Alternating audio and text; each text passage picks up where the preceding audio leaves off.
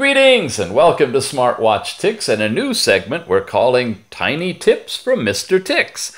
What are they? These are little tips every now and then that'll pop up that you should know about in order to get either the most out of your watch or get your watch just to work. In this case, the latter applies. You cannot get this watch, the DM 2018, see right here, running Android 6, to tether to its associated app, which is the Fundo Pro app, unless you follow the trick and tip you're about to see.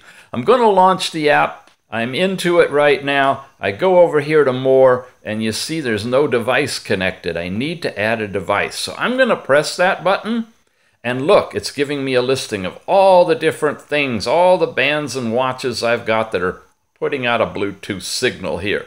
I just bathe in Bluetooth, I tell you. What I find on this watch, though, is as most of them, it should automatically be putting out its Bluetooth signal like this so that we could tether. But it's not. And here's the fix. On this particular watch, you have to slide down and get all of these different icon controls here. You have to go over and find this one. You see that icon? It's a funny looking thing. And when I press it, it tells me that in order to connect to Bluetooth, I have to turn this stupid, I mean, this, this switch on right here.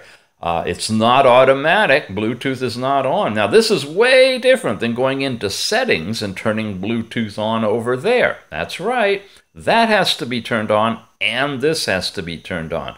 So I'm going to turn it on. I'm going to refresh here on my list, and we should see the DM 2018.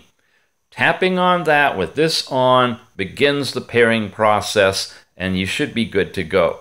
But this will not show up on your phone in the app unless you have that turned on. There's your tiny tip. We'll see you again soon.